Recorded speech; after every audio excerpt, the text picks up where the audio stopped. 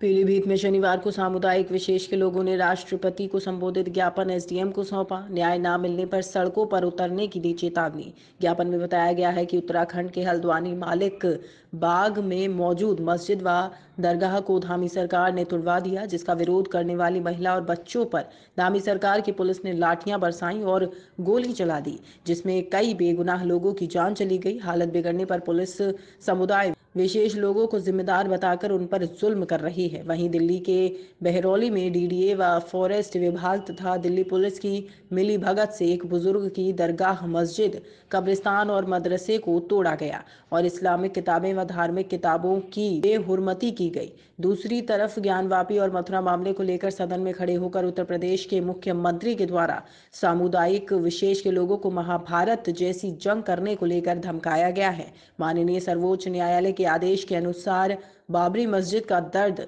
समुदाय विशेष ने सह लिया है। अब दूसरा दर्द देने की कोशिश की जा रही है। भाजपा सरकार सत्ता और पावर का दुरुपयोग कर देश में 6 दिसंबर जैसे हालात पैदा करना चाहती है। इसलिए उत्तर प्रदेश के मुख्यमंत्री समुदाय विशेष के लोगों को धमकी दे रहे हैं। समुदाय विशेष ने पूरनपुर एसडीएम को ज्ञापन देते हुए मांग की है कि न्याय किया जाए, अन्यथा सड़कों पर उतरकर विरोध प्रदर्शन किया जाएगा, जिसकी ज़िम्मेदारी सरकार की होगी। राष्ट्रपति महोदया भारत सरकार द्वारा परगना मजिस्ट्रेट पूरनपुर। विषय उत्तर प्रदेश उत्तराखंड दिल्ली आदि जगहों पर मुस्लिमों की इबादत गाहों मुस्लिम जानों को हुक्मरान के इशारे पर हिंदूवादी मुस्लिम विरोधी तहरीकों तथा पुलिस द्वारा ज़मीन दोष किया जा रहा है के विषय के विषय में।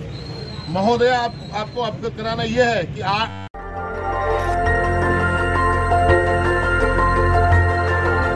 देखते रहिए डीबी भारती समाचार। नज़र हर खबर पर।